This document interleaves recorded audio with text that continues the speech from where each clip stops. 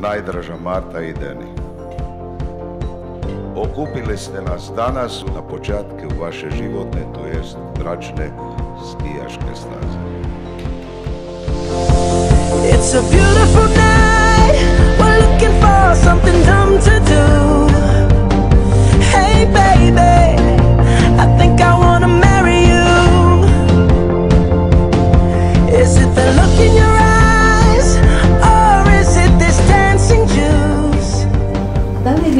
Danijele Viteziću, pristajete na sklapanje braka s ovdje nazočnom Martom Kauzlarić? Da.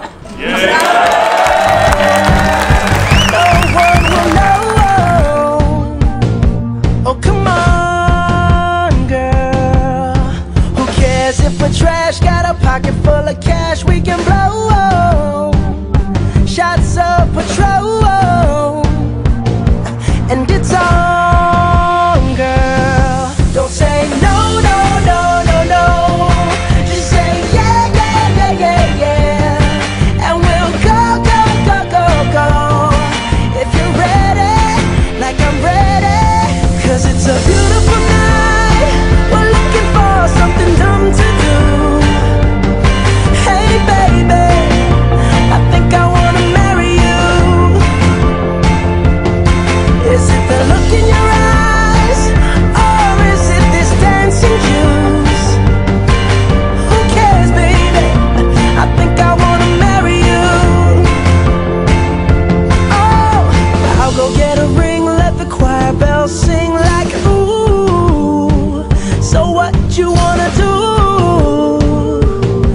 Let's just run, girl.